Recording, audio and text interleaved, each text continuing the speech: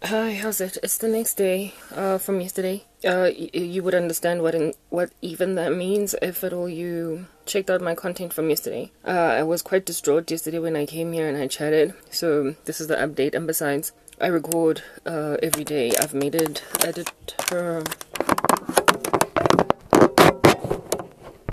I have made it a determination to upload every single day most especially because I have been targeted to stop doing ministry, so for those reasons, I'm just ramping up. Even when I feel like I don't have anything to say, I frankly have been wanting to not record because I'm really down and out, but it is that very, um, it's a reverse spite, essentially. You send me a curse to stop with what I'm doing, and I then just do it. Anyway, to display a point, um, Besides, I do have much to say. I still have the residue of what under heaven it is that attacked me yesterday through the, my mom. It's still on me. So there's a lot of sorrow in my soul. Y'all know I, I wear the same clothes in a row over and over again. Frankly, don't care to change for who am I doing it. Uh, I'll probably change out tomorrow because I think it's time, but whatever. Look, um, I keep getting the same kinds of dreams in a loop and these dreams are frankly from people who are arrogant, like extremely arrogant.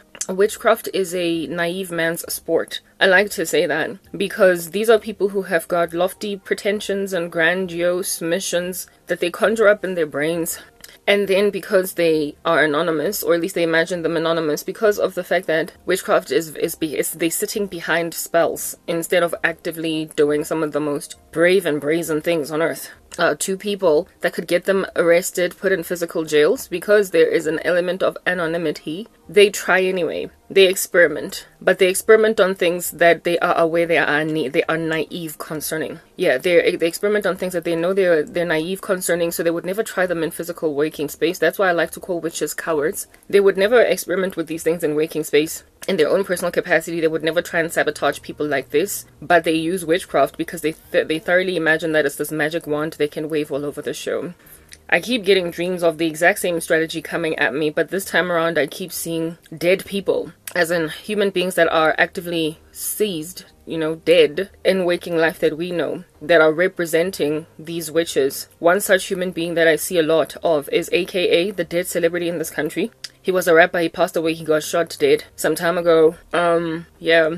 I keep getting AKA, I keep dreaming about AKA doing the exact same things that the wicked man from America is doing, the wicked witch from South Africa is doing, my mom, the um, my my sisters, the uh, whole of my family, my former friends, my cousins, etc. They keep on morphing, shapeshifting essentially in my dreams into dead people. Um, and the male conglomerate in particular keep getting represented by AKA. I have seen my ex boyfriend acting like AKA being AKA. But I could, I got a vibe that was basically oozing out of AKA that it was rather actually my ex. While people might resent these prophecies, I don't really care because the Bible says that um, uh, people in the last days are going to be self adoring, very narcissistic. And when you're self adoring, you're going to hate a God that tells you exactly who you are and what you are. And one of the admonitions in the Word of God is that we must not despise prophecy. And witches despise prophecy because prophets are in the business of prophesying their demise their demise like their downfall so the thing about um the hatred of prophecy is that people upon hating such prophecy then try to effectively fulfill the opposite of that prophecy coming to pass.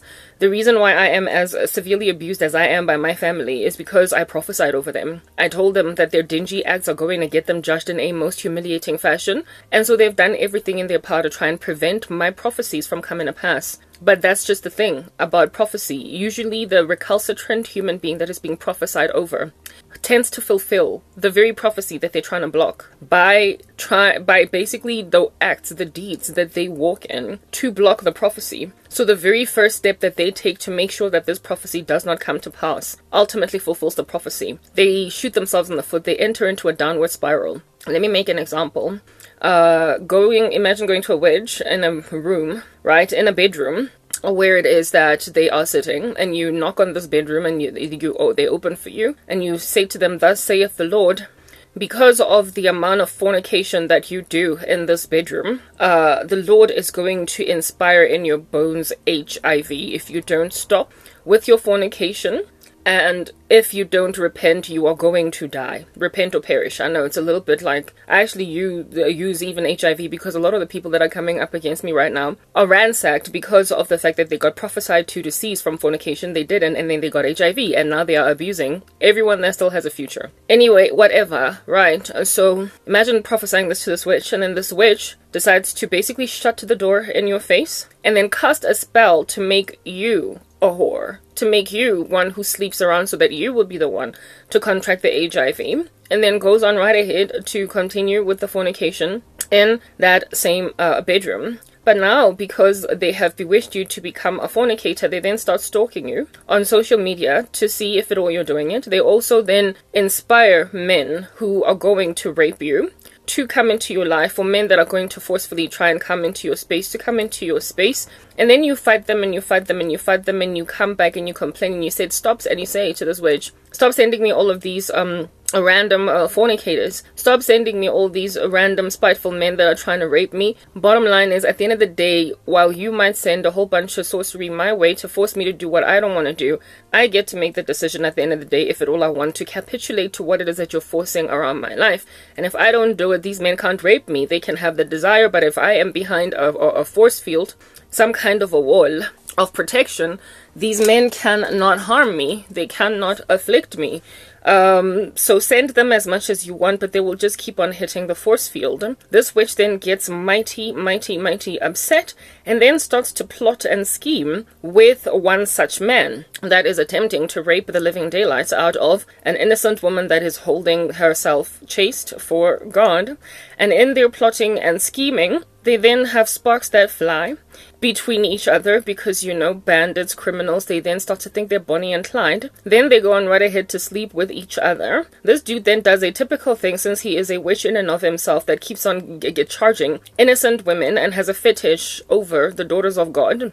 So he then resents her, he despises her. Just like Amnon and Tamar, he has a, a, sexual affair with the witch in question, following which he then dumps her like a hit it and quit it, a one night stand. This woman then gets mighty angry, super very voluminously upset. at the fact that she's been dumped and then ramps up her sorcery, ramps it up, ramps it up, ramps it up, even more against you to force you to fornicate. And then this uh, random ridiculous witch causes a violent obsession in this guy that she fornicated with. Now she, this dude now wants you. This guy now wants to come at you. But remember, you've got a force field around you. These people keep on ramming into your wall. They run towards you and they bash their heads into it, their skulls, and they fall back. Like typical zombies charging a person they see through a glass screen. Don't know there is a glass screen, so they run toward it, toward it, hit it, and then fall on the ground. So this person has then created an obsessive man against you, uh, the obsessive man of which has in and of himself fornicated with the witch in question and now can't stand her because she's loose that way. This man that's busy trying to come your way then goes on right ahead to shapeshift into a Christian that is what is good. Uh, so he knocks on your door. You think he's a viable guy because he now is not looking like the former menace that he used to look like. And you think you can actually have a conversation because, hey, who knows, maybe this might be my future husband. You have a conversation with this menace, this beast. Uh, you exchange notes. You basically start to fall in love because you think they're a Christian. But then you're a fasting Christian, you're a prayerful Christian. Therefore, somewhere along the way, he manifests into demons. But before he, fin- he manifests, you have conversations, you talk. This guy claims that he used to be a fornicator, but he stopped because, you know, the blood of Jesus redeemed him, the blood of Jesus healed him, uh, and now he once was lost and now he's found, and so he doesn't partake in fruitless deeds of darkness anymore. So he is chaste and he is clean now from fornication for a year. While you've been clean for, from fornication for 12, let's say, years, you've been chaste waiting on God for 12 years. Him, it's just been a year, but it doesn't matter because the date of salvation for a person, really, the Lord is the one that determines it, and you can't judge a person based on your own perseverance in waiting. So you allow yourself to basically fall in love with a false disciple that is presenting himself as a born again Christian that isn't. Really, he's actually really truly a witch. Uh, very well, this human individual in your conversations that you are having uh, together, because you're busy planning a future and what have you, you then let him know that because he was a former fornicator and because you also were a former fornicator but you stopped fornicating uh, before any of y'all can even start so much to start to plan a wedding you both have to take hiv tests and this guy's like fine whatever i don't care i love you i'm gonna take an hiv test this woman in the corner is aware that you're having an affair with a guy that she had an affair with that for the life of her left her after a one night stand because he thinks she's immoral. Uh, so she is starting to get irritated and jealous, unbeknownst to herself, that frankly, he was the infiltration in her life. He was the thing that she sent with witchcraft. He was the exact same desire that she wanted in the life of her friend to cause her to falter, to cause her to become a harlot, to sleep around all over the show. But this guy, uh, surprise, surprise, fell in love with her for real. Because there's just this thing that guys do that are incredibly immoral and violently wicked. They fall in love with virgin women. They fall in love with good girls and then they decide to despise the women that they have ransacked in the past that allowed themselves to like loose cannons just basically be had by wicked men. So they cause a divide, a rift between women. Um, they cause women who are loose cannons who sleep around all over the show to hate good girls because they are the reason why these good, these bad women are bad women in the first place. And then they, after that, dust themselves off in attempts to marry a good girl. So this dude is one such random human.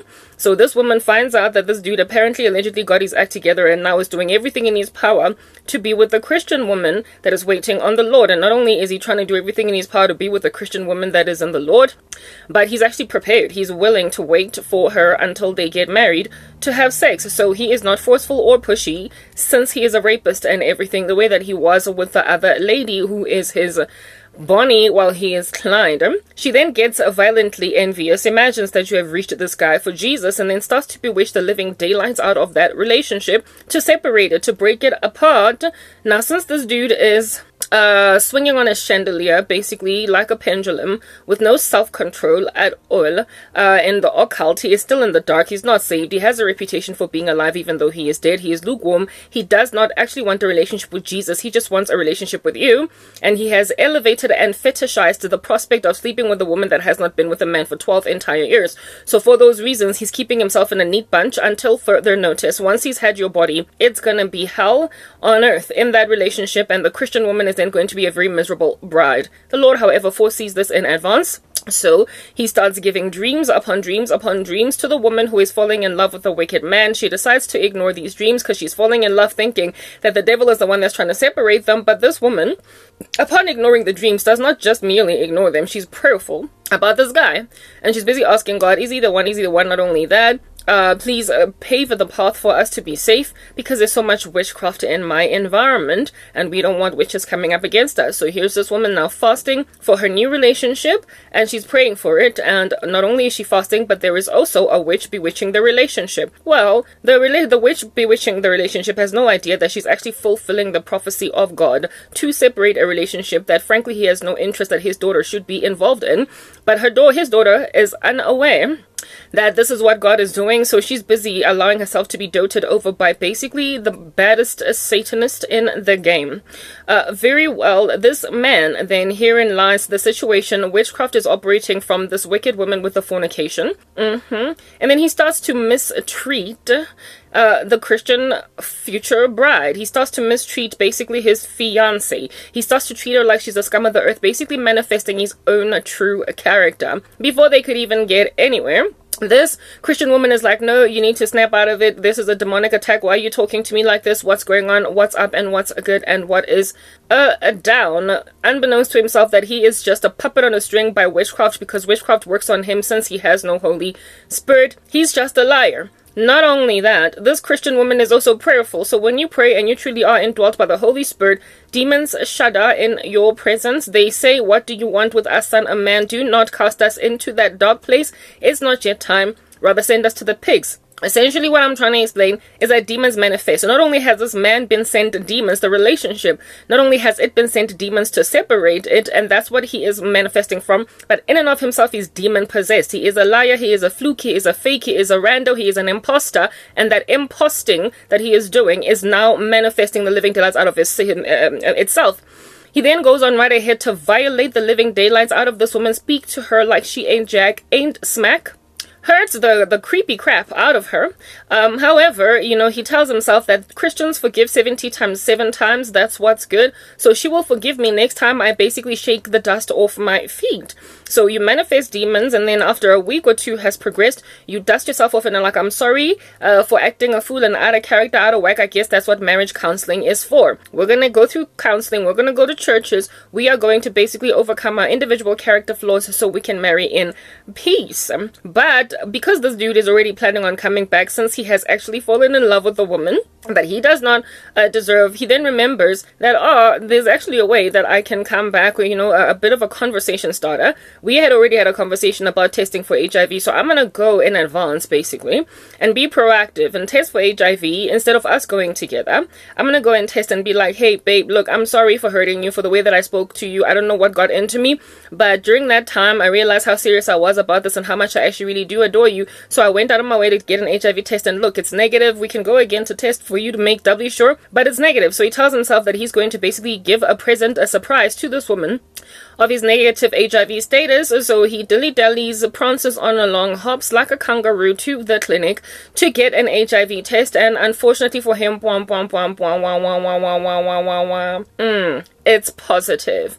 That's what's good. So he turns out to be HIV positive. His positive result then makes him exceptionally mad. He gets super duper angry, does not know out of the plethora of harlots that he has slept with who gave it to him, since he was in the business of slam dunking himself into the body of a woman like a donut inside some chocolate. He doesn't know where he got it. So here it is that this random buffoonery of a man is HIV positive now, and then he decides to take it out on the Christian woman.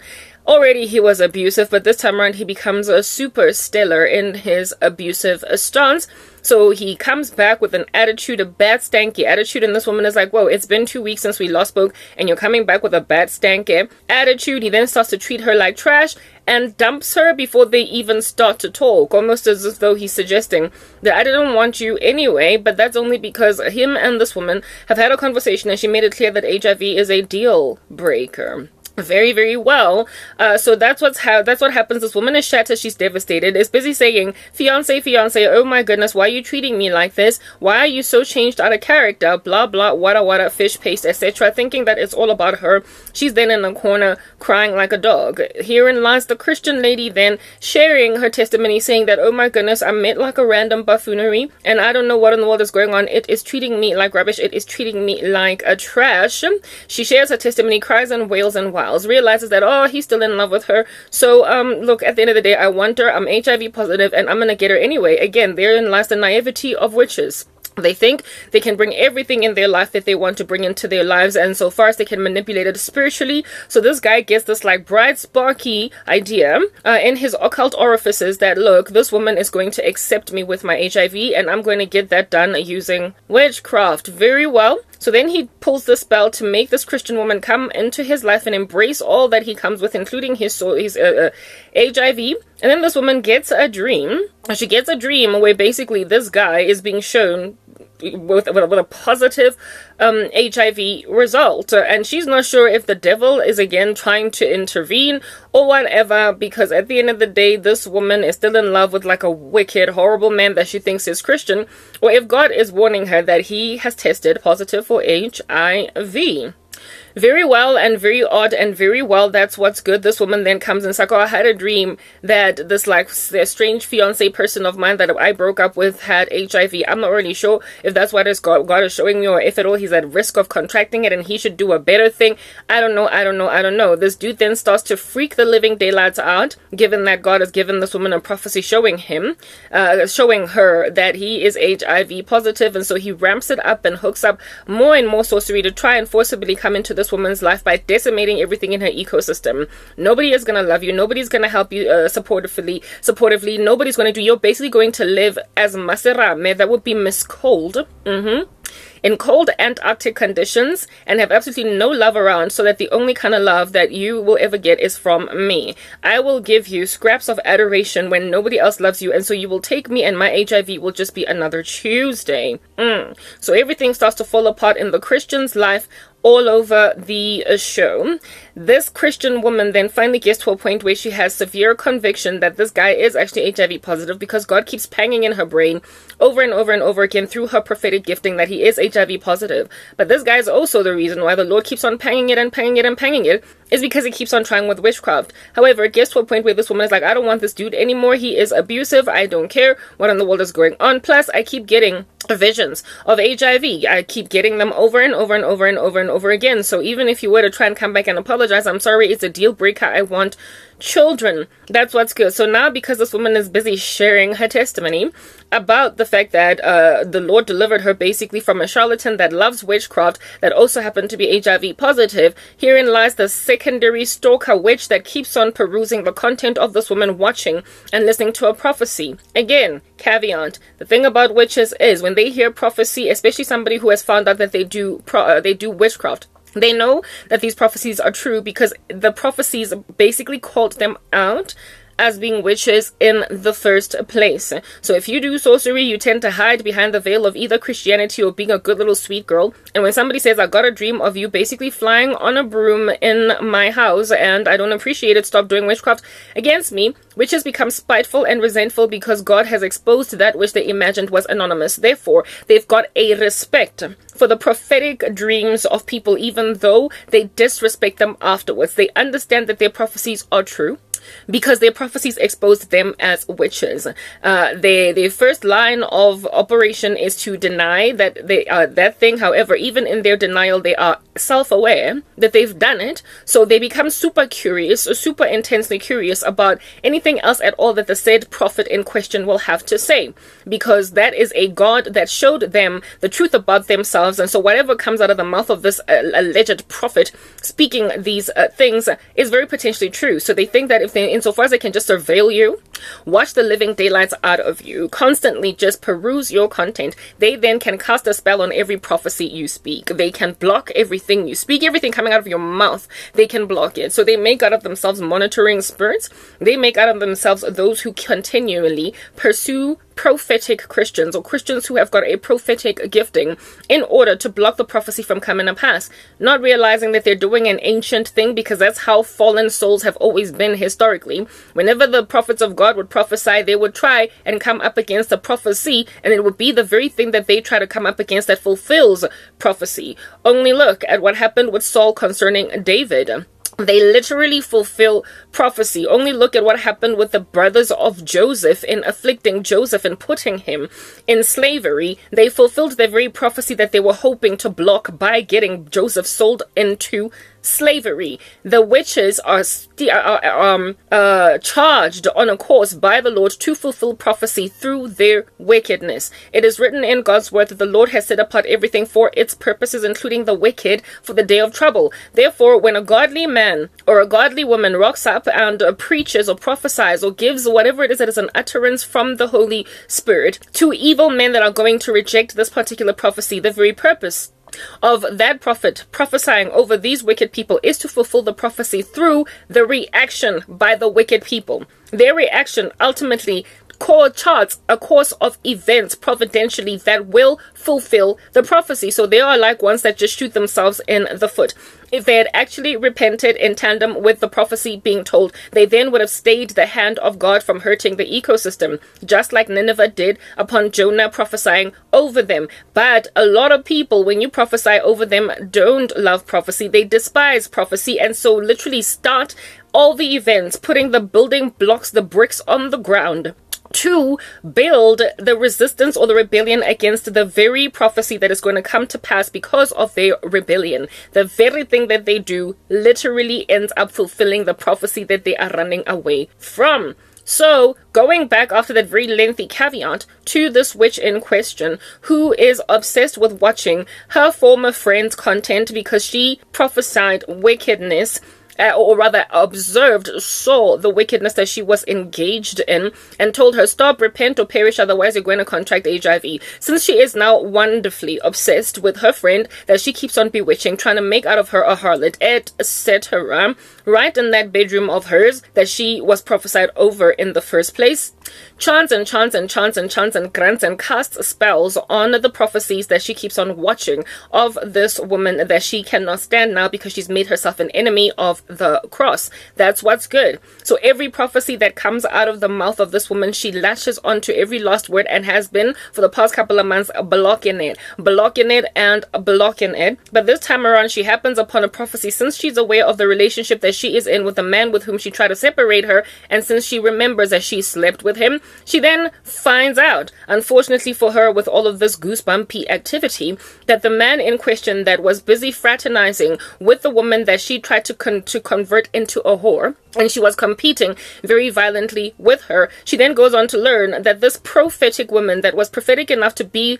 shown by God that she is a witch is now claiming, she is now proclaiming on the rooftops to also be aware of basically an uncertainty that is dwelling in her bones because she's not 100% sure that the man that proposed marriage to her, that came into her space, is actually HIV positive. Remember, she slept with this guy. She's aware of him. She infiltrated him. She got upset when she saw him and her walking around in these streets singing Etta James. I heard church bells singing. I saw my love walk down the aisle and also something told me it was over when I saw you and her walking. She had an affair with the said man, and now here it is that this prophet woman is, or prophetess, whatever you want to call a woman, is sitting on the rooftop saying, The Lord showed me the man that infiltrated my space was actually sick with a disease. She then starts to get all cold. She starts to get her blood vessels beating. She starts to get all different kinds of uncomfortable. And so, after a couple of days of freaking out and pacing in this bedroom of hers, she decides to take a trip to the clinic to test for HIV, and voila, she's HIV positive. Um, so herein lies the fulfilled prophecy, literally gawking at this woman who was told at the very beginning that knock, knock, knock on your bedroom. The Lord told me stop fornicating or you're going to get HIV. And instead of repenting, making like Nineveh so that God will not judge the land, the woman decided to rather get all super upset, call her sanctimonious and self righteous and an annoying, snooty little wannabe, attempt to force this woman to become a fornicator. That is what's good. Yes, attempt to force the Christian woman to become a fornicator. And because in and of herself she was a fornicator, then tried to infiltrate the wicked man into her life. She, upon plotting and scheming with this wicked man against this other woman, ended up then having a Bonnie and Clyde affair. She then slept with him and contracted HIV from this man, who then went on right ahead to fall in love with the victim that they together were trying to plot and scheme against. Now she's all hot and bothered, and now she has got sweat rolling down her cheek that is made of blood. Now she is realizing that, oh my goodness, literally the prophecy came to pass. And if I had listened to her from the very get go, I would not have gotten in this knot and in this bunch. My attempt to cause my friend to become a whore that warned me against fornication caused me to sleep with the very man with whom I was plotting and scheming against her, and that man was sick since he was a pornographer, since he was a pimp like Andrew Tate, since he was a completely irresponsible sexual beast that was also in the business of paying for prostitute sex. Since he was addicted to pornography, since he was a non repentant fornicator, he somewhere along the way, out of all the plethora of random harlots that he slept with, got himself a nice little HIV status. And then she slept with him in a moment of weakness, following which this dude did the predictable thing that he does with a lot of the women that he sleeps with and abandons her then goes on right ahead to try and marry a Christian woman. So here is a fulfilled prophecy that was prophesied, that was despised by the one over whom it was prophesied, and now that very fulfillment of prophecy has caused an angry little witch to get even angrier. Now herein lies the witch with HIV alongside her accomplice in this affair, and the two of them are now actively trying to kill the woman that prophesied over both of them to repent or perish. Now both of them are actively trying to destroy the life of the person that warned them, and should they have listened, they would not have found themselves in this bunch, especially the woman in the bedroom. Now she spends all of her time in her silly little bedroom, literally listening to everything that this Christian says so she can come up against it with witchcraft. Now she is obsessed, she is addicted, she is 24 hours a day sitting outside of her computer listening to every last thing that this Christian is prophesying now that she has gotten over the wicked man, now that she is prophesying against the wicked man, now that she is certain in her bones that he is indeed sick, now that she is complete in her understanding that the Lord did protect her, now that she is no longer taking prisoners, now that she's no longer confused, now that she has been rescued from her own self delusion, thinking that a wicked satanic man can ever marry a Christian woman, now that she is strong in holding fort against this wicked force this woman is now dedicated to bringing down her friend, especially considering that she is now HIV positive when she was initially warned. Yeah, that was an analogy and partially true um, to a certain extent because I got infiltrated into my life by a scenario of this nature. A whole bunch of my former friends and family members that I warned against fornication tried to bring a very evil man into my space when I finally did date an evil man, unbeknownst to myself because he was cloaked in a veil of Christianity. They literally, upon me updating my Facebook status update from single to engaged, came up against the relationship. They bewitched my engagement with a Satanist, unbeknownst to themselves that he was a Satanist because they believed him a Christian and they thought that God was finally giving me breakthrough for marriage. When then they came up against this relationship, this man was the one that manifested their demons. I was the one that was strong. I was the one getting the visions. I was the one that that saw their attack on our relationship, I tried to talk to this random buffoon that you need to resist the devil and he will flee from you. Instead, he manifests demons and treated me like trash within just a very short space of time of us being together. Ultimately, um, I, I walked away. I left him to do what he wanted to do. It took him literally a couple of months to snap out of this thing. That was enough time for me to heal. Maybe like three months. It was enough time for me to heal. At which point, I then started getting nightmares of me having sex with this guy using a condom, him insisting that we use protection because he wanted to come back. What happened to cause this guy to manifest these wicked demons was the fact that he went to go and take an HIV test since I made it clear that I'm not gonna, it's a deal breaker. It came back positive, unfortunately for him, since he was in the business of sleeping with random prostitutes. That's what's good. Never really stopped fornicating. However, he now fell in love with a Christian woman and wanted a new leaf on life. And this random buffoon, when he tested positive, then became even more monstrous against me bewitched the living daylights out of my life. Initially, when the Lord showed me the HIV, I wasn't sure if that's what I was seeing, and I was in denial about it until it, be- it, it got solidified. My conviction concerning it got solidified, and then that's when this dude started to bewitch me to accept him with his HIV. Now, who sent me this guy? Who sent me a satanic man? Who under heaven insisted that I, one, settle, become a fornicator? And two, end up with a man that does not love Jesus. It was my former friends, it was my family members, it was all the women that I initially warned cease and desist from fornication uh, cease and desist from what you do. And it was that very irritation with prophecies that I uh, prophesied, and also the irritation with the fact that I knew they were witches because a lot of them I told them, God showed me you're into sorcery. I have forgiven you. I don't care. Just repent. The Lord said, if you repent now, He will give you a new leaf. They got angry at my discovery. However, they got obsessed with my ministry and what it is that I have to prophesy because I was right about them. And so they invested in a lot of witchcraft, lots and lots and lots of witchcraft against me to essentially force me to marry a deadbeat, to force me to take in my stride somebody fallen and one ultimately came into my space. After a couple of years had progressed i literally accommodated a wicked man. It from the very beginning actually Two such relationships have I been in with men that did not love God, that were into satanic worship. The first one fell off really quickly because I was strong at the time, financially independent, and I was not yet as violently abused, and so therefore suffering from PTSD. The second time around, that a dude rocked up in a time when I was super sensitive, going through a lot, so I took a lot more rubbish in my stride, but despite that, all God protected me.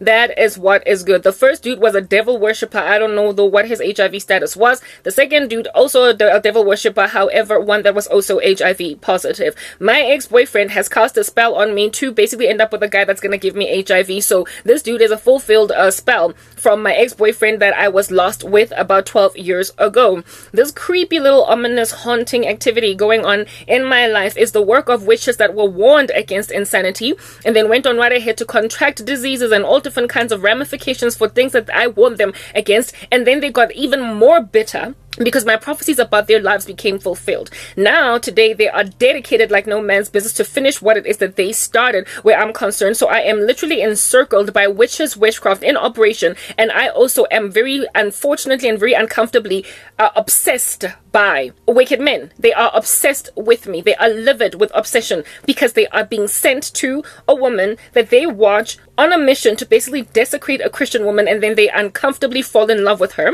are prepared to do that which they were not prepared to do with for, for wicked women. These one night stands, these uh, hit it and quit it, wham, bam, thank you, ma'am, things that they do with other women. They were like, no, not you. It's fine. I will dust the dust off my chest I will remove the, the, the, the lerole and all of the grime off my cheek. I will take uh, an unfortunate and uncomfortable uh, bath in a murky, dirty lake. And then I will come and pretend I'm Christian. I will bring you some rotten flowers that were grown from some soil that is not even fertile.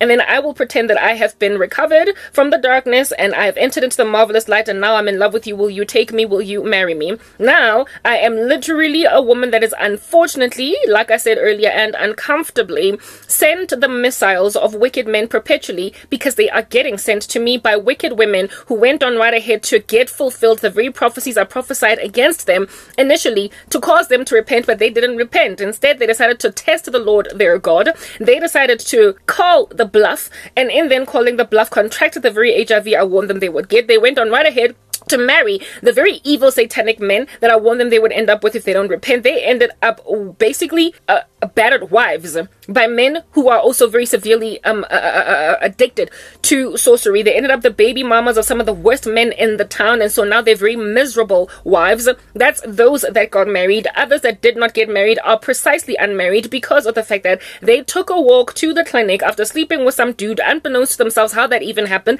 and tested positive for HIV. So now they are single and bitter, not getting married because their HIV status has made their dating prospects very shallow. And so for those reasons, now they keep coming at me to make me walk in the same mistakes that they are walking in. So I am being targeted and abused by a combination of two, one of two women.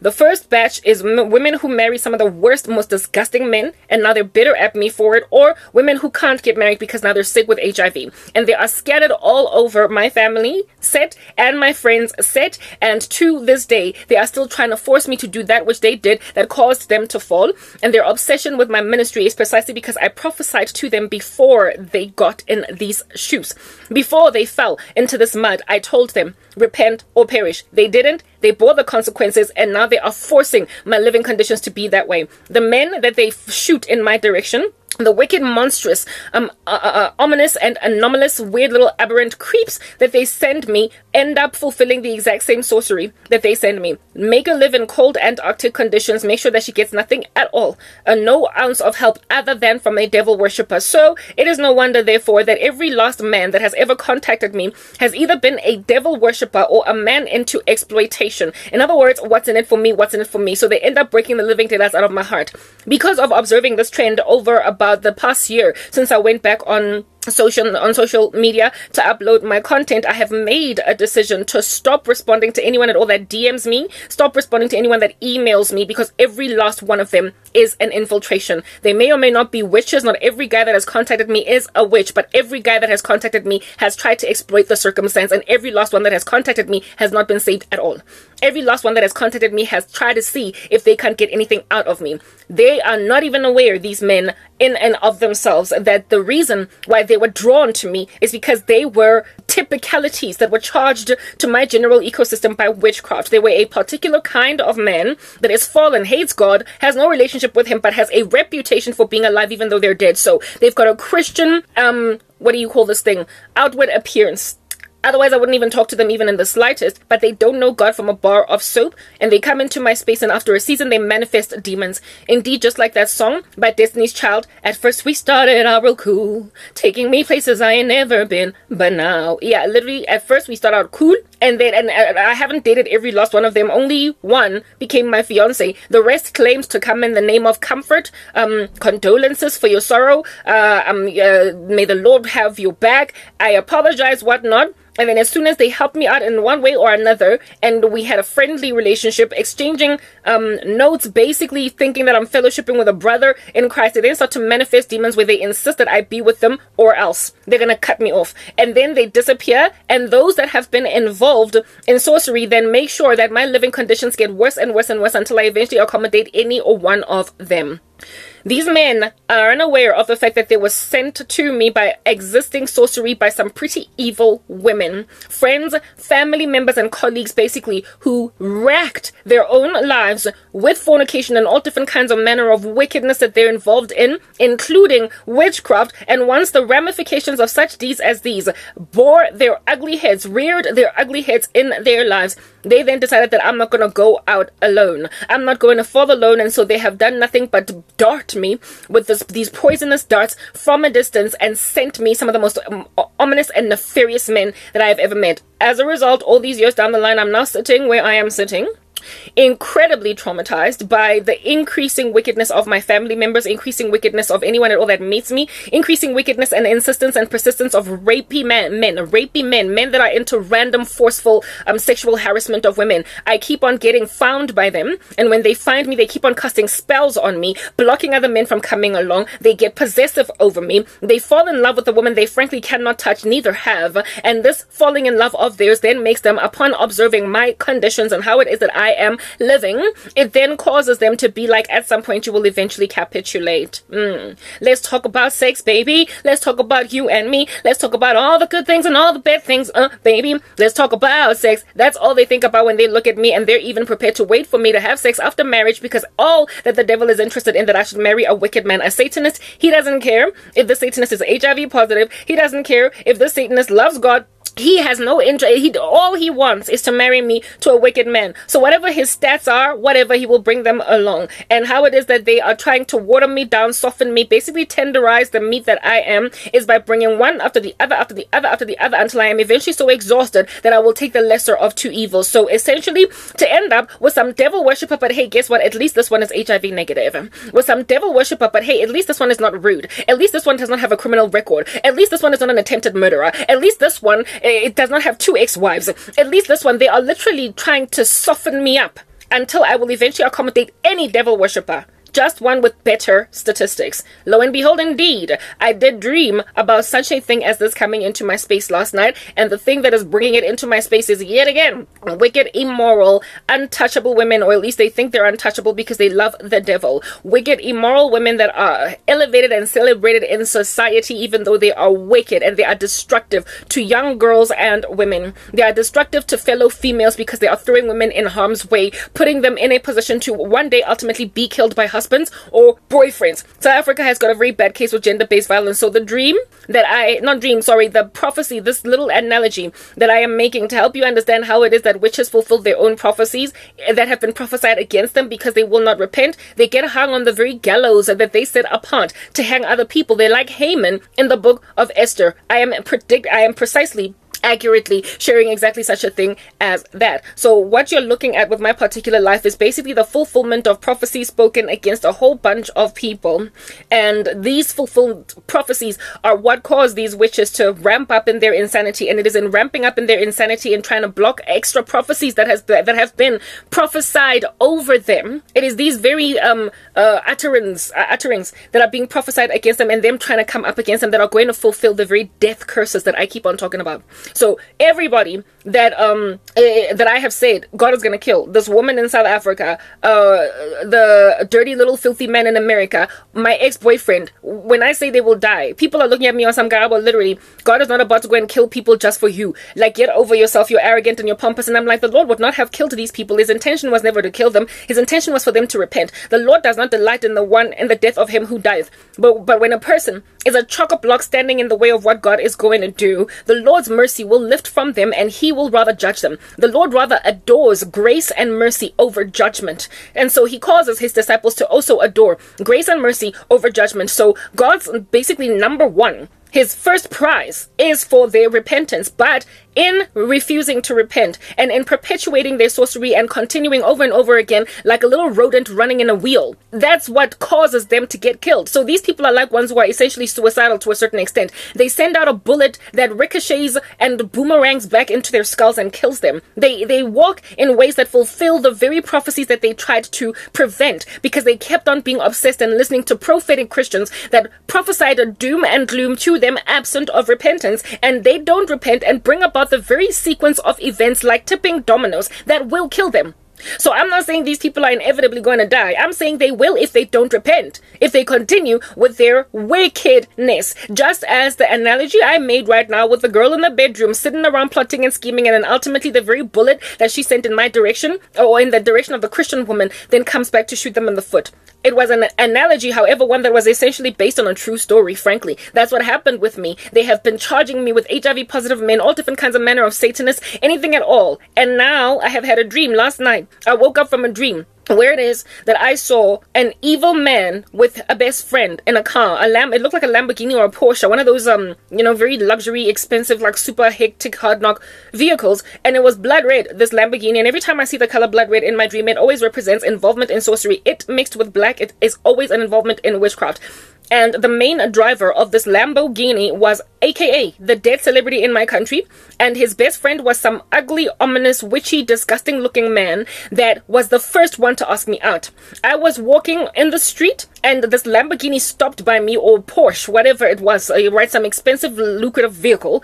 Um, they stopped like the way that you would stop next to a girl walking from school type thing. My poverty is always represented by me walking around as a pedestrian as opposed to driving my own vehicle because again they're trying to take my ministry. They stopped by me and the first initial lewd rando that was busy spewing licentious commentary in my direction to try and pursue me, I ignored him. He was on some hello, nice, hello baby, how you doing? Come in the car, come on, let's go partying, let's go clubbing. In the dream, I was a Christian as voluminous as I am right now. So I found wicked men asking me out to quite brave. I found it um, naive and incredibly brave because what am I doing? Like, no, I don't want to be unequally yoked with an unbeliever. That is what's good. The reason why satanic men are so brave, where I am concerned, men that don't even have a relationship with Jesus, have ab- absolutely no fruit that they are bearing. They are evidenced very quickly as wicked. The reason why they're even given bravado is because of my life. It's because I'm a pedestrian walking around foot on foot instead of having my own resources, etc. My poverty has made them believe that at some point I will eventually settle because this is by attrition.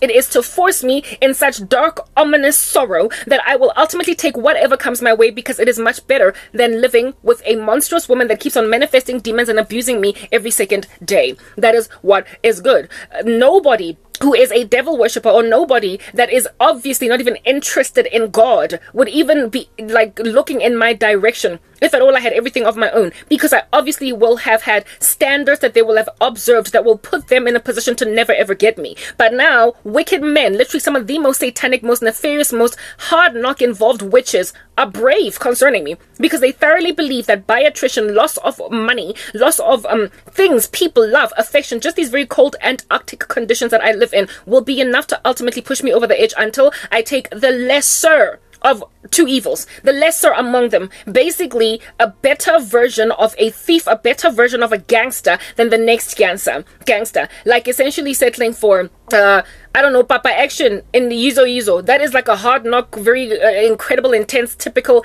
gangster versus Michael Scofield in Prison Break. Versus basically a really good looking, handsome gangster that'll impress you, or even Brad Pitt in Ocean's Eleven. A handsome gangster that is uh, really very charming in comparison to one that is obviously just a, a a tactless, careless, um, trigger happy, murderous, homicidal gangster. They hope that I will settle for a lesser Satanist than what it is that I ultimately came from. The voodoo um, priest, the voodoo occult practitioner, menacing beast that was out of prison, let out in 2020 um, after the virus uh, ransacked um, the whole earth and so they set prisoners free in America. He is like the be all and end all of an incredibly ominous, dark, nasty. Obviously, this was whack. How could you try to put this in Karabo's life, man? And now the devil is like, once you have had literally a true gangster, some tactless voodoo priest come into your life that obviously did not stand a chance, it was over before it started with you. This time around, you will accommodate the Nita Satanist that's never been to prison. You will accommodate a Nita Satanist that has never gotten married. You will accommodate a Nita Satanist that has never had children. You will accommodate a Nita Satanist, just basically someone that is very heavily besotted with the devil, but one that doesn't have a bad rap sheet like the dude from the USA. That is the strategy now trying to come up against me. It is the reason why I will not even talk to anybody on the internet. No one will ever tap on my shoulder again and get me responding to them. I am basically at this point going forward, absent of the rapture happening, trying to get my own life back together again, and I trust the Lord to do that for me. I am no longer going to rely on anybody. I am no longer going to insist on any kind of comfort or being pampered with consolation by anybody at all because I am aware that women are still busy sending me hailing darts, shooting arrows in my direction from pretty nefarious men, and this time around, their strategy is to get me with a lesser evil. They have got lots of regret concerning breaking me up with the Satanist in America, that dark, hard knock gangster. He was actually a gangster that they let free in prison uh, early. Mm. Instead of, uh, they, they regret breaking us up. They regret making me and him part ways by causing him to manifest such bad demons that no, I can't be with such a wicked man. That is what's good. But they didn't know at the time that he was evil. This time around, they want to be super careful with bringing a man into my space that they're gonna know belongs to their kingdom. They're gonna know for a fact belongs to their kingdom, and they're not going to tamper with that relationship. They're just gonna let it flow and breezy go through so that I will be deceived into marrying somebody with whom I'm, I'm unequally yoked. That is why last night I got dreams, multiple ones at that, literally walking down the aisle getting married, when the Lord has made it clear that I am not going to get married. Not on this side of the rapture. I have seen, seen it multiple times that I'm rather going to go to heaven, and only in the millennial reign of Jesus Christ am I going to am I going to get given everything I need. The world is literally at the very end of itself. The rapture is about to happen. There is no way this world is still going to be a going concern. Not when my life looks like this. Not when lives of Christians look like what in the world and the heaven it is that I'm going through. We're going home. The rapture is happening. So whenever I see me getting married, whenever I see me in a white gown walking down the aisle to a man, mm, whenever I see me basically at this 39 years of eh, of age finally walking down the aisle because ooh, ooh finally God can no God is like ah that's not what I'm doing I told you if at all I was still going to con- perpetuate this concern for a minute longer you would have gotten married at 28 Gabo you would have gotten everything that you wanted in prayer you would have had the children you would have had the life the business I would not have allowed so much sorrow and disquiet to come into your space but now, what you are is one who is prophesying what it is that is about to come on the earth. You are an end times Christian. You are going to get raptured, but not before the world goes to the dogs. Do you understand? So, whenever you see yourself getting married, don't believe it. Whenever you see yourself getting married in, in any other capacity other than post the rapture, eh, whenever you see yourself basically getting your life back together, but you've got an enmity with your family members, whenever you see yourself uh, having some witches gnash their teeth upset because you finally got what you wanted, you finally got given breakthrough, that's not me because I would not want you to get what you want in a world where everybody keeps sending darts into your marriage anyway, darts to your children anyway. This world that is so full of witchcraft, everybody doing all this wickedness all over the show. It is uninhabitable for my Christians. So a lot of them I have withheld answered prayer from precisely because it would not be fun for them to get what it is that they ask for in prayer in a world that is so full of jealousy, so full of sabotage, so full of strife, so full of envy, so full of destructive intention and uh, sabotage against their fellow man. It would be very hard for my Christians to live out their days in peace. They can no longer occupy the earth in a peaceable fashion because everyone is coming against the body of Christ. So there is no breakthrough coming for the body of Christ other than the rapture and then righteous reign because that's the only place where they're going to live healthily. So if you see yourself getting married in a dream, uh, even though that was your desire, even though that's what you wanted. Do not believe it. It's a deception. They want you to get married to a lesser evil. They cannot wait to literally combine you with an evil man with whom you're going to go into the sunset, forget you ever had family, forget that your family members are all demon possessed, and they put you in a position to be like Joseph in Egypt. Live a life where even Malobola Achacho, upon them being taken out, your cousins are gnashing their teeth, your mother is upset, everybody is low key jealous, and they cannot stand the fact that you finally got what you asked for in prayer. They're currently all trying to block everything that you are doing, and so if you get it anyway, there will be no one happy for you on your wedding day. There will be nobody happy for you when you finally make an announcement that you're, you're pregnant. There will be nobody throwing you a baby shower. The level of jealousy is such that you are going to have a very hard deliverance where there will be no one happy for you. And I did not intend for that to happen. I would not have allowed you to lose all of your family and let them basically slide to the dogs with all of their sorcery. I would not have allowed that if at all under heaven there was still another 100 years to go. I wanted you to live a life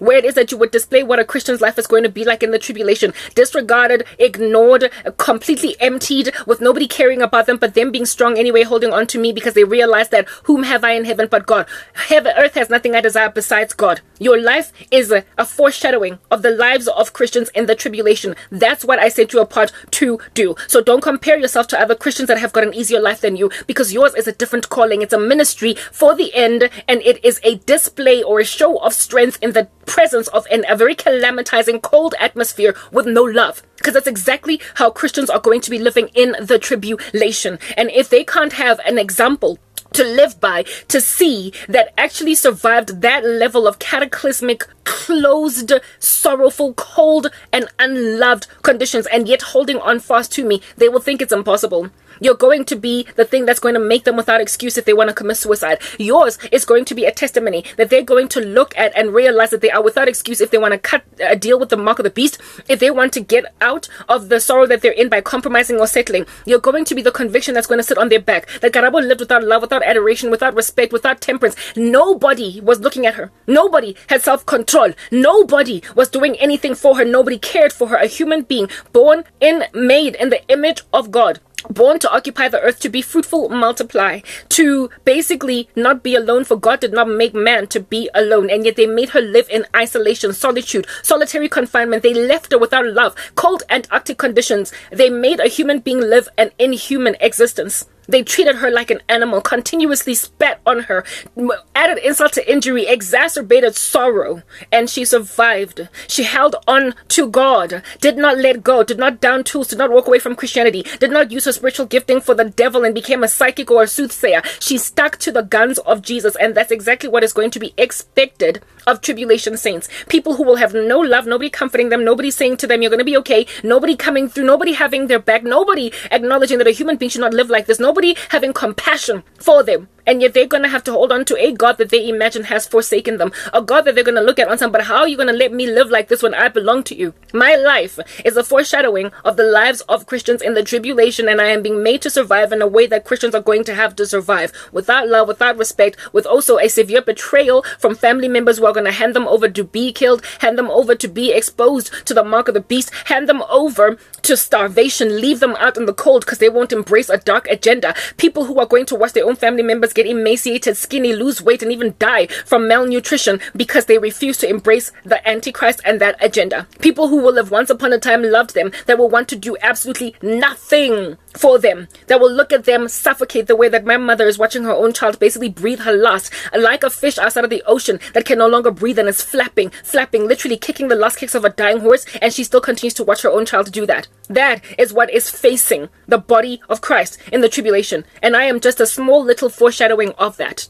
I'm not forsaken by God, neither abandoned. I have a big job to do. And what it is that I am going through is a pin drop in the ocean in comparison to. But I am a strong enough motivation and inspiration to anybody at all that's going to find themselves in my position. Christians are about to have absolutely nobody. A whole bunch of people that they trust are going to bewitch them. A whole bunch of people that they trust are going to betray them. Because of an increase in lawlessness, the love of many is going to grow cold. People are going to wax worse, deceiving, being deceived. They're going to get worse and worse and worse and worse. And so my life might be sad. And people might crease their foreheads when they look at me, think I will eventually settle, think I will eventually fornicate, think I will eventually end up doing something that is ominous and disrespectful to God. But I can't and I won't because I have a call. That's what I'm getting at. I have a job to do to basically be a living example of what it means to survive the tribulation when there is no love, no respect, no regard, no care, nobody's looking out for you. Everybody is hoping, crossing their fingers that you will finally, like, eh, fornicate, that you will finally bash your fist against God and ignore Him. Finally, walk out, and you never do. It's coming. Mine is aberrant, a life. It's weird. It's anomalous. Do you understand what I'm saying?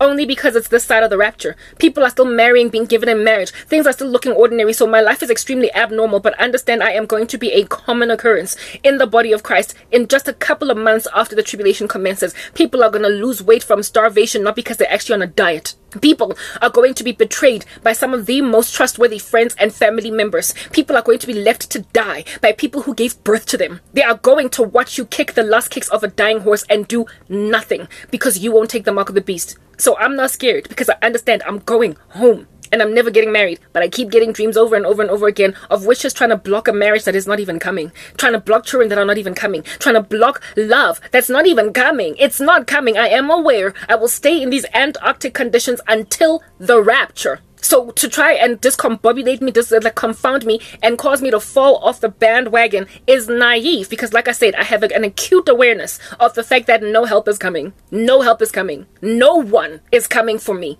but the rapture. So I'm not scared. Insofar as I've got food, insofar as I have got um water, electricity, internet to be able to upload prophecies that I see. That is what it is that I am doing. I'm not expecting anybody to help me because we are that close to the rapture. And what happened yesterday with the suicide ideation, what happened yesterday with me being pushed to an edge of actually wanting to die, that even confirmed a prophecy that God gave me that towards the very end, towards the very, very, very end, there will be a lot of people sending you death curses to commit suicide or settle. Like the the woman in South Africa, not only uh, does she try to come up against my ministry, but she actually tried. She cast a prostitution spell on me so that I will eventually sell my body just to make money, just to make money a prostitution spell like that level of bravado that is what people are doing in these last days so when i see these things i'm thinking i'm safe I'm covered. I have a bed to sleep in every single night. I have food in my stomach. I have got everything I need in order to live a life in godliness. I actually have it pretty good in comparison to some Christians across the world. There are human beings that are literally starving to death, sitting in prison camps in North Korea that have got it worse than me. So all I gotta remember is that I should not be a spoiled brat expecting more than what is the absolute bare minimum because towards the end there will be no compassion. There will be a ramp up of incredible incendiary wickedness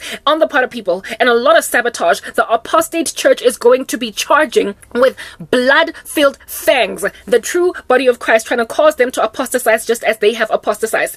Their envy over the uh, earnestness of true believers is going to cause them to make the lives of true Christians so hard, so near and impossible to live, that in the absence of God cutting those days short, no flesh would be saved. I would not survive this thing if God intended to sit around waiting to come and grab the church for another five years, another six years. We don't have that time. I don't even think we have a year. That's what's going on. Situations are so dire, things are so bad that people are fulfilling Bible prophecy in waking life. They will not only fall away from the faith, giving heed to seducing spirits and doctrines of demons, but they will try and drag as many people down with them as possible. The apostate church will literally try to strip naked the true body of Christ. The five unwise virgins will do everything in their power to make the wise virgins less wise. They will by attrition cause us to live in frosty, cold, and arctic conditions until the Lord comes and takes us. And it is that lack of repentance that will make the Lord take us because if people repented, the Lord would stay his hand from judging the world through a tribulation, but they won't. It is their very wickedness, their very intensification of sorcery, their very darkening, eh, going works. Wicked men will go worse, they will wax worse, deceiving and being deceived. It is that very insistence upon getting darker and darker and insisting that a person falls and does exactly what you did because you settled, you became a witch instead of be patient and wait on God. That will be the very thing that is going to cause God to take the church out. He will remove the restrainer. The people who keep on standing in the gap for wicked men and women, the people that are so severely abused across the world right now, that's what's good. The Lord is going to take us out out because it is no longer sufferable for us to be here. If the Lord delayed even one second longer, I would fall away. I would commit suicide. I would die. I am literally on suicide watch every single day. I would eventually capitulate if the Lord delayed one extra day. By forcing me to be in these conditions, I would never settle. The end result of this thing is the rapture or suicide because I find witchcraft and witches so abominable that I would never settle for one first and foremost. So dating one, ending up married to one, that'll never happen. And secondly, I find the practice so disgusting that I personally would never ever attempt or dabble with it just to get out of this. So since there's only one way out of this, go to heaven. I promise you right now, absent of the Lord wrapping his church, wrapping this mm, thing up, taking us home, you're facing my funeral. I keep on hearing the funeral service, the funeral service of Karabo. Yeah, that is only if the Lord tarries even one extra day. He will give me just enough strength to get to the very day that I would end up dead. That's what you must understand. I would much rather die than be a witch or die than accommodate a witch. I can't stand them. I would go so far as to say I hate them. I have a violent resentment towards them because they have caused a great chaos on the earth. So, for the devil to anticipate that I would ever settle for a satanic man, just a lesser evil, is naive. So the dream that I had with the dudes in the Lamborghini, one who was sitting on the passenger side was a scrub, just like typical that Sonia um TLC. But he was brazen and bravadoed enough, brazen enough to ask me out. Hello, my sister, how you doing? How you doing? I was ignoring him because I found him disgusting and I didn't even understand why a man in the occult would even want me. However, his friend that was the driver of this Porsche, his friend that was the driver was AKA, and he kept talking to me as he was like, okay, my friend, you don't want my friend. What about me?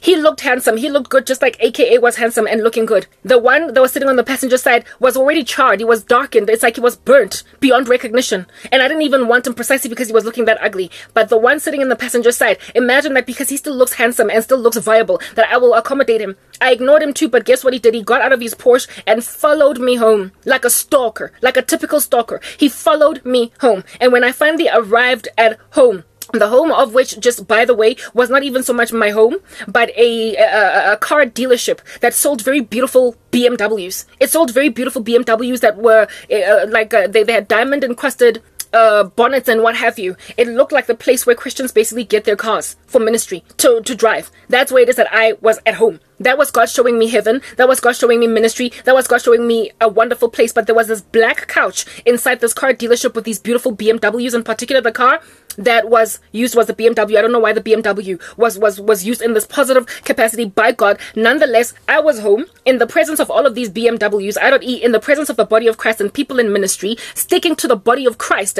and watching content about Christians across the world who are holding on to Jesus in spite of a world that's falling apart. I was in this place, but my mom was also there. And she was sitting on this one black thing, the one dark thing in this environment. She was sitting on that black couch reading a newspaper looking all blase, la-di-da, and nonchalant, with her feet uh, uh, folded in this environment. That was God showing me wheat growing up among tares, and people that are the the gateways to allowance of Christian persecution. I wouldn't be this badly persecuted if my mother did not basically give permission to any man at all that wants to take their child, her child, like a prostitute, had not done that. If my mother had not mistreated me like this, if she had not abandoned me to the dogs and the sharks. All these brave animals all over the show that think they can just come into my life wouldn't be like this. If my family was treating me right, I would not be so bravely pursued by some of the most evil men on the earth. I would not be so bravely pursued by wicked women who think that because of what my mom is to me, they can just do whatever they want. And my mother was literally a gatekeeper. She was sitting by the door of this car dealership uh, on a black, black couch, her feet uh, crossed, uh, sitting on the sofa, reading a newspaper and this uh, AKA dude came and uh, tried to talk to me. He was following me. I told you he followed me from his car, from the Porsche that he was driving. He followed me all the way into this car dealership that I understood to also be home. And when I arrived at home, initially he was scared um of uh what do you call this the the the my mom initially he was scared on some oh my goodness like you know imagine a teenage girl you see her at a mall as like a lewd little licentious boy and this teenage girl is walking in the mall with her parents you would not be brave to ask this teenage girl out or to pursue her or to harass her sexually in front of the parents but you would wait for the teenage girl to be by herself to then try and pounce on her now that the parents are not there because you understand the parents to be a protective force right mm, that's what you would do this guy this aka dude in my dream um initially was scared when he saw the presence of my parent. That's what's good. But then, upon realizing that she's nonchalant, la di da, they could not care less about what's happening with me. When he made that observation, he then was bold enough to even walk into the car dealership and continue to persist and ask me out and uh, hassle me and accost me, even though I wanted nothing to do with him. The dream then ended. When I woke up and asked the Lord, what, the, what in the world does that dream mean? He was like, they're going to keep on pursuing you all the way up until you enter heaven. All the way up. And like, you're literally going to be sitting among your brethren waiting for the rapture. And these men are going to keep coming at you like missiles. They will keep coming at you like bombs. And the thing that's going to make them brave to do that is the neglect of your person by women, neglect of your person by your family. They will get braver and braver and they will think that they can bring a lesser Satanist into your life. And so far as it's a Satanist at all, that you will find yourself one day nicely, miserably ma- married to a wicked man to a wicked man. That's what's good. So uh, basically in this dream it ended with me being like get out. I don't want anything to do with you. Get out. I want nothing to do with you. But he didn't care. He was just persistent. He kept on asking me out because they believe that the day is going to arrive thoroughly when i am finally like okay look i'm suffering too much. Plus my family doesn't care about me. So come in. Come in and dine with me. Except i was in basically tenement of heaven where there were all these luxurious cars. It's only a matter of time before god separates the wheat from the tares. In the uh, run up to the separation of wheat and tares however there will be a lot of bravery in intensify in an intensifying measure against the body of Christ. There will be men who are more and more evil, literally brave to ask Christian women out that want nothing to do with them, and they will harass them and stalk them obsessively, literally using attrition, messing with their ecosystems, cursing them, curses of poverty, curses of uh, coldness and uh, sowing discord between family members to make sure that a woman that does not belong to him will come into his space. So there's like a nefarious, ominous beast in the United States of America is apparently, according to the Lord God Almighty, the least of my worries right now. Because what he is is being phased out. What he is is being phased out, where it is that like an obviously evil, dark, disgusting thing will come into my space and try to marry me. That is not even going to happen anymore because I am obviously so with my guard up right now that I would never accommodate it. Now what's coming? Now what is trying to basically throw itself like a dart in my direction is something that does not look so bad, but it is still incredibly and entirely and voluminously evil.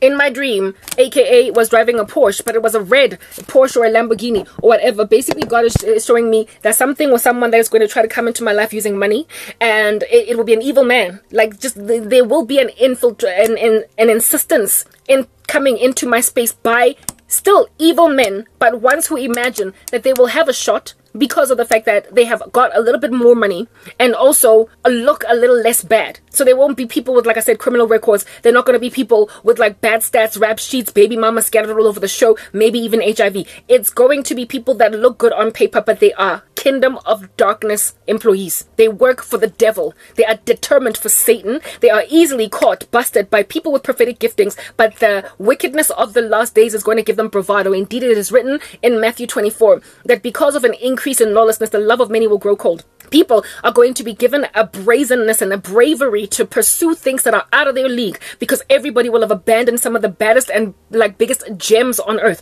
to be left in Jeffela to rot and die. That's what's good people are going to be abandoned with no love that are so valuable that all manner and kinds of criminals and menacing, ominous beasts are going to imagine themselves feasible options for them. That's why the occult is getting bolder and bolder. People uh, don't love each other anymore. People aren't protecting each other. Mothers and fathers are not protecting their daughters. And so, for those reasons, some of the most evil men are trying to marry innocent women. They're trying to marry women that don't have them coming. They are trying to marry girls that frankly do not deserve to be wed off to a Satanist. They are entitled and they are pushy and forceful. And they have told themselves that I'm going to get what I want, even if Lomunta at first. Just a forceful, rapey spirit it's full of sexual molestation. They will just get it and get it now, and there's nothing you can do to prevent me. That's the bravado that is given um, people in the occult. Why? AKA, he was in the darkness when he passed away. Not only that, he's currently a dead man. The Lord is showing me just dead people walking around insisting on getting living beings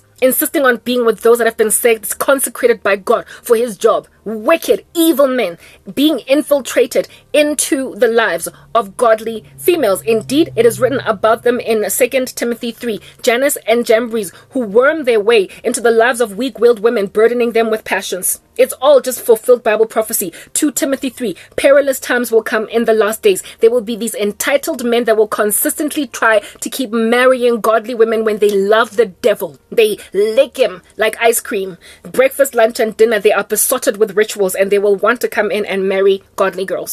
Marriage is not coming for me.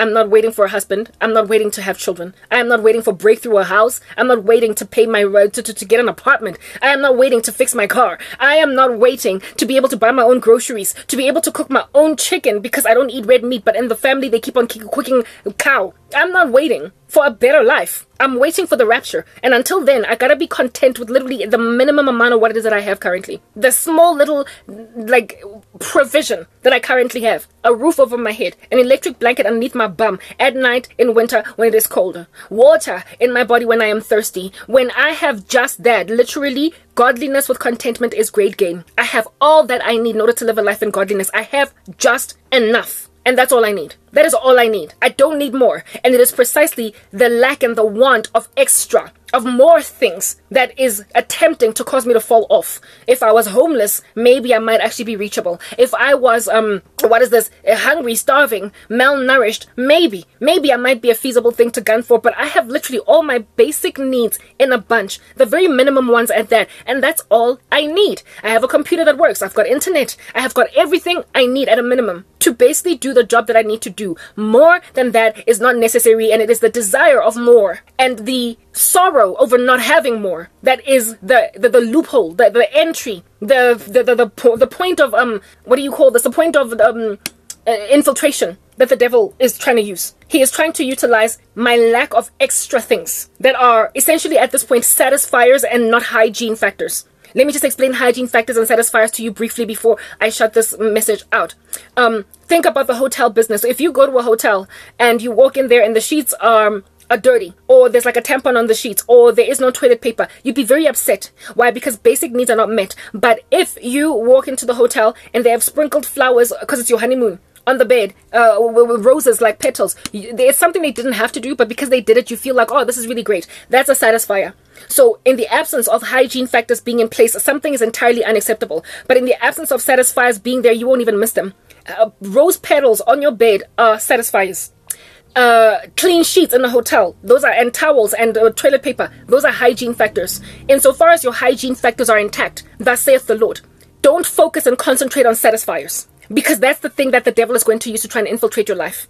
So if you do not have hyaluronic acid for your skin to moisturize with, if you do not have uh what do you call this um even benzoyl peroxide to deal with acne, if you don't have even tampons for crying out loud, if you do not have uh what do you call this um love, respect, adoration from people in your environment, if you don't have protection from people that are going to make sure that people have a hotel, those are satisfiers. It is a nice to have for your sister to respect you, a nice to have for your mother to love you at this juncture. At this present point where you find yourself right now, it's a nice to have. But insofar as you've got water to drink, uh, food to eat, insofar as you've got a bed to sleep on at night, insofar as you've got internet to be able to continue to upload your content, insofar as your mind is still intact, insofar as you have got everything to basically just live from day to day without facing death. That's all you need. Because really, frankly, if you run out of hyaluronic acid, there's more where it came from, Karabo. You're going home. If you run out of moisturizer, you're going home.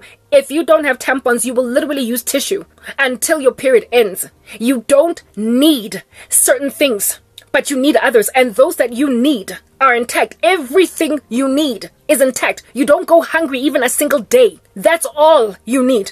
So do not look at your depleting toiletries, for instance, which are apparently needs for some people. But I would go so far as to beg to differ with that because only look at the persecuted church in North Korea.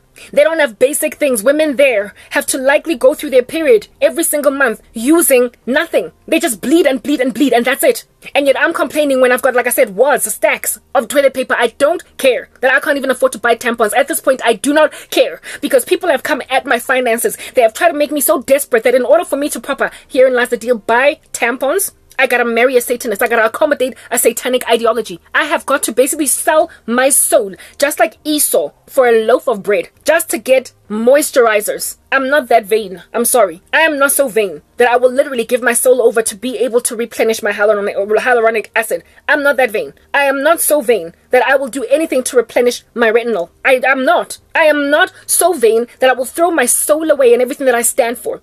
So if I have to dry up and use nothing but Vaseline on my face every day, then by all means. On my acne prone skin, but I don't care. Because naked I came into this world and naked I will leave. God has given, the Lord will take away. You don't get to threaten me with a depletion of stupid things, things, things that I don't need. If you take away my bread, and my water, then maybe you might have something on me. But right now, the basic provision that I need from the Lord on high is here.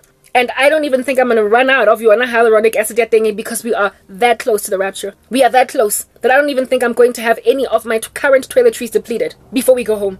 It's that close. Because if God does not cut these days short, no flesh would survive. Humanity, you have been spoiled by convenience, do you understand? So much so that you are literally selling your soul, your souls to the devil for satisfiers and not hygiene factors. Insofar as you have bread enough to eat for the day, you better be content. Seek first the kingdom and its righteousness, and everything else will be added to you. I don't need more than what I currently presently have. And yet people are literally trying to use satisfiers when I am spoiled with an abundance of hygiene factors. So abundant are my hygiene factors that I am among the only South Africans that when there is a power cut, I still have electricity 24 hours a day.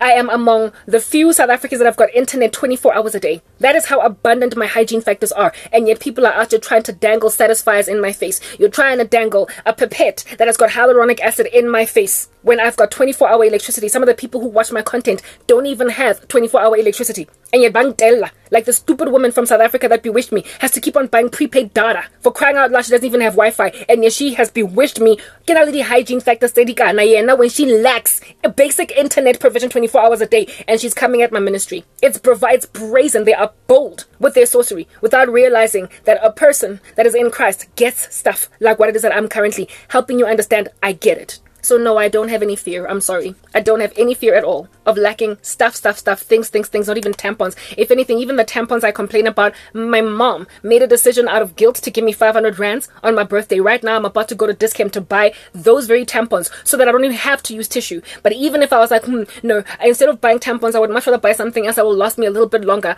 It's fine. I'm only on my period for four days, and if I have to for four days keep on changing out tissue, that's what I will do. But I won't even have to do that because, like I said, I can currently afford to buy tampons. So come at me with something new, witches. Innovate afresh for crying out loud. If you really want to stumble a daughter of God that understands that naked they came into this world, naked shall they leave. God has given, God has taken away. If you want to stumble a person like that, come up with something else. Be more innovative. But to try and take away satisfies from a person that understands the that godliness with contentment is great gain, that he, a person that has been trained to uh, be brought low and how to abound. Like Paul says, I know how to abound and how to be brought low. Yet in all of these things, godliness with contentment is great gain. The love of money is the root of all kinds of evil, and many who have wandered into it have pierced themselves with many gains. All of y'all that busy keep on listening to Creflo Dollar and Kenneth Copeland, these wicked health, wealth, and prosperity preachers that are making you think that God is not there when there is no money. You're like Job's wife who tells Job, kill yourself. Because what are you going to do? Will, will, you still maintain your integrity? Why don't you just curse God and, and die? And Job's Job responds to her on some, Will you only praise God in good times and in bad? You're a foolish woman. Leave me alone. That's all that I can keep telling people. When a person is truly born again, the Lord preserves them and gives them the kind of mindset that I have got. There is no coming up against that. In an earth that is so materialistic, that is properly imaginative of the fact that a woman can give away her entire dignity for a box of tampons, is naive. But this world will become more and more godless towards the end. So much so that they will literally think they can keep on pushing and prodding and poking at people who are obsessed with the adoration of money in order to force them to do what they want to do. And upon observing enough people settling in this regard, then go on right ahead to blanket paint that moral turpitude on people that have given their lives to God. We are rare. Do you understand? The road is narrow that leads to life and few people find it. And so the thing that we do is different. However, it is very rare. So when people happen upon it, they keep on poking and teasing at it until they look like fools until they look abusive, until they look they look like a bunch of pimps, literally trying to recruit like human traffickers, a whole bunch of prostitutes that have not had this coming. They are trying to convert an entire virgin into a prostitute overnight. That is what people are trying to do right now. It is naive in the worst way, but they will have the brazenness of it and the bravado because so many people are dangled by money on a noose on earth. So many people, so many women, viable, thriving, intelligent women are allowing themselves to do OnlyFans. That's the world that we live in today. Everybody loves money so much that they don't, they've lacked, they lack dignity and morality. Look at NPCs on Twitter, uh, not Twitter, what is this, TikTok right now. These women and men pretending to be AI robots or whatever in order to make money, doing lives, like selling your soul and definitely to do something so stupid and eerie, freaky, just so you can get $12,000 in one session. That's what the world looks like today. And so when people observe some silly little woman doing an NPC on, on, on TikTok, they then look at Karabo on some girl. You or you, it's only a matter of time. Like, do this, do OnlyFans, do whatever, or accommodate some satanic dog man because you don't have money. As if though that is the be all and end all of a need. No, it is not.